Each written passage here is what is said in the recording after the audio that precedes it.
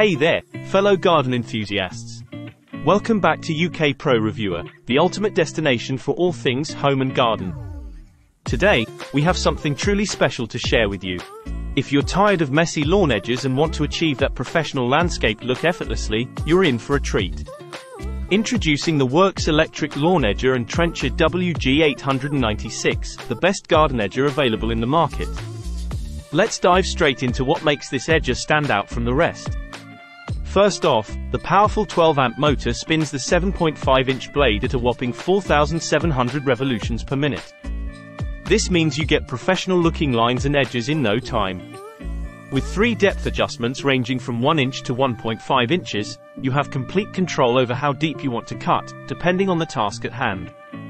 One standout feature is the cutting line guide, ensuring you stay on the straight and narrow. Say goodbye to wonky edges. And the adjustable shaft means users of any height can find a comfortable position, making it a breeze to use.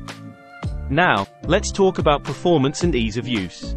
The WORX WG896 effortlessly glides through the lawn, providing precise and neat edging results.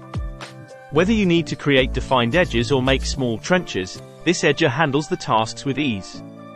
And weighing in at just 14 pounds, it's lightweight and easy to maneuver, even along tricky stretches.